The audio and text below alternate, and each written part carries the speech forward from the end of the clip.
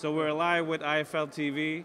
We want to know how did you find the fights tonight? We're with Batsir Jukembayev, aka Triple Seven, fighting at 140 pounds, number eight at the WBA.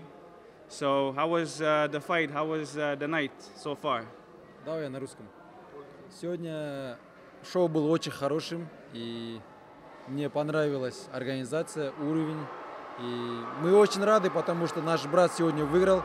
Хусаинов, он одержал победу. И мы очень рады, короче. I will translate. He just said that he liked the organization of the fight, the show, the talent show in between fights. Uh, he said he's very happy because his brother Abylaikhan Khussainov did a great show, won by knockout, and made the whole country proud. And uh, he he came and showed up for the fight. So you think uh, those, those Man, I'm getting yeah. So you think those events uh, be keep on growing? You want to be coming here, maybe fight one day in a show here in Dubai?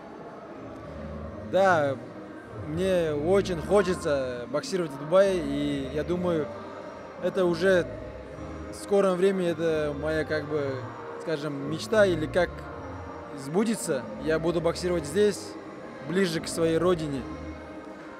He's saying, yes, uh, I like Dubai and the atmosphere here, the show. Maybe one day I'm going to be fighting myself in Dubai and it's going to be a good fight. Uh, and uh, hopefully a big, big show, big money fight.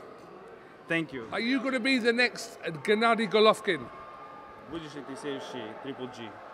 Не, ну, конечно, все, я думаю, многие боксеры даже из Казахстана хотят хотят быть Triple MG, но, конечно, я хочу достичь его результатов и большего даже хочу. He's saying for sure all the fighters from Kazakhstan want to have this. All the fighters from all around the world want to have the same career as Triple G and have those big fights. His dream also is to have big fights, but he has his own path and uh, show his own style. Okay, do you think Golovkin will make a return to the ring ever again? Думаешь ли Triple G когда-нибудь вернется в ринг или уже все? Думаю, да, потому что мы встречались с ним вот недавно. Он в хорошей, хорошей форме. Не знаю, ну, это 50 на 50. Но он в хорошей форме, я мы с ним встречались только недавно. He says, I know him very well and we've met recently. He's in a good shape. So maybe with a big fight, big money fight, he might be back. Canelo Golovkin 4. Thank you, brother. Thank you.